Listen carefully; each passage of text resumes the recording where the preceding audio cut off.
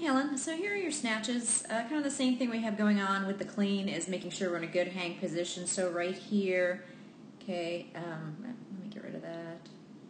Right here, right, we want vertical shins and then we want these hips further back that way.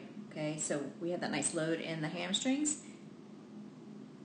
But I'm pretty impressed that you are able to snatch that much after being sick.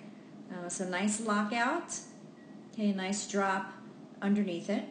Okay, so now in this second one, I want you, I'm going to show you how the bar kind of drifts away from your body the minute you jump into the snatch. Okay, so what we really want to have happen is we really want the bar to stay in nice and close, ride up the thighs until you're fully extended, and then the bar uh, starts to go over your head as you drop under it, okay? So you can see that the bar kind of moves out from you. It goes straight up, kind of away from the body.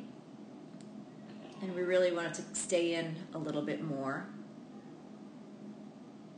And I think that's about it. So just keep working on, once again, that nice hang position with the hips to the back. Oh, and the other thing I wanted to say is just when you're in your start position, this may help keep the bar in um, tighter to the body and really brush against the hips when you're at full extension is to really make sure that these elbows are turned out so I can see the point of your elbow.